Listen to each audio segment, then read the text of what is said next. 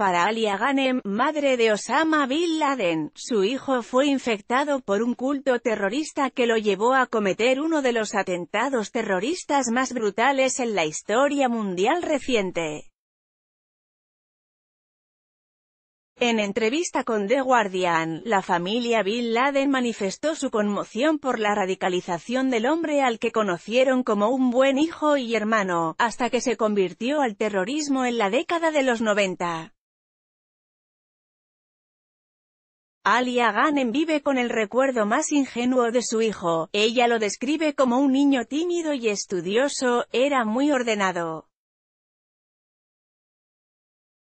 Muy bueno en la escuela, realmente le gustaba estudiar, dijo. Alia Ghanem habló por primera vez sobre la vida de Osama. Foto, David Levene, de Guardian, pero Ganem no ha podido reconocer la realidad del ser en que se convirtió Osama, para ella su conversión el radicalismo fue influenciada por personas que cambiaron su forma de pensar. La gente de la universidad lo cambió, dice Ganem, se convirtió en un hombre diferente. Fue un niño muy bueno hasta que conoció a algunas personas que prácticamente le lavaron el cerebro a los 20 años. Puedes llamarlo un culto, recibieron dinero por su causa.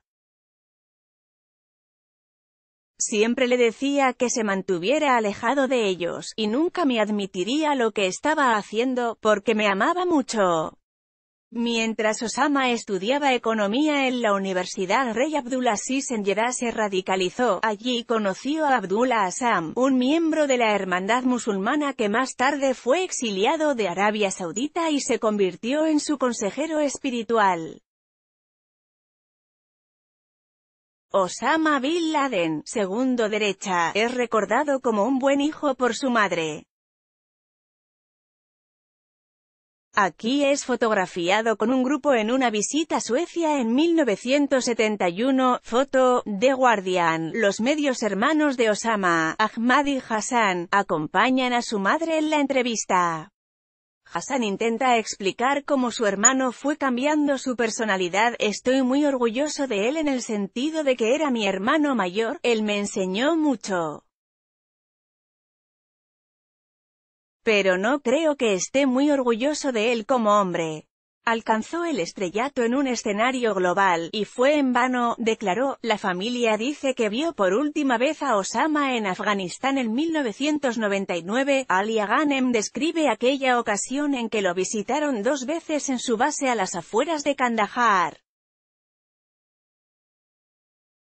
Era un lugar cerca del aeropuerto que habían capturado a los rusos, estaba muy feliz de recibirnos, nos estaba mostrando todos los días que estuvimos allí. Él mató a un animal y tuvimos una fiesta, e invitó a todos. Hasta ahora la familia Bin Laden ha podido continuar con su vida de manera ordinaria en Jeddah, la ciudad de Arabia Saudita, pero el pasado de uno de sus integrantes será difícil de borrar. Andrea Guzmán